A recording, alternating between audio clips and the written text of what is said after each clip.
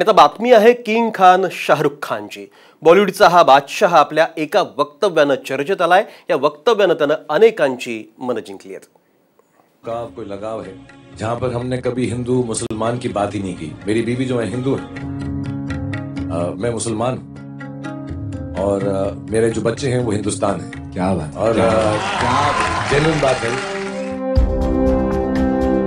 King Khan, Shahrukh Khan याच्या या वक्तव्यानं अनेकांची मनं जिंकली. एकीकडे देशात नागरिकत्व दुरुस्ती कायद्यावरून रान पेटलंय. मुस्लिम बांधव मोठ्या प्रमाणावर निषेधासाठी रस्त्यावर उतरले आहेत. तर अशात शाहरुखचं हे वक्तव्य चर्चेचा विषय ठरत आहे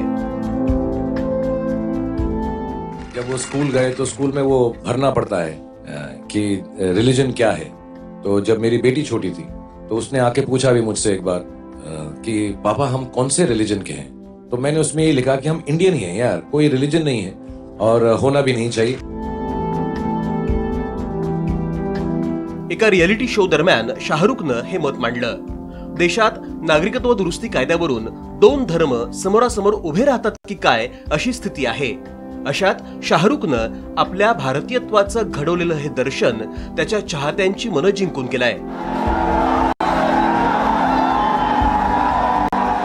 कमीत कमी शब्दात शाहरुखनं राष्ट्रप्रेमाची दिलेली ही मोठी शिकवण. Bureau report Saam TV Mumbai.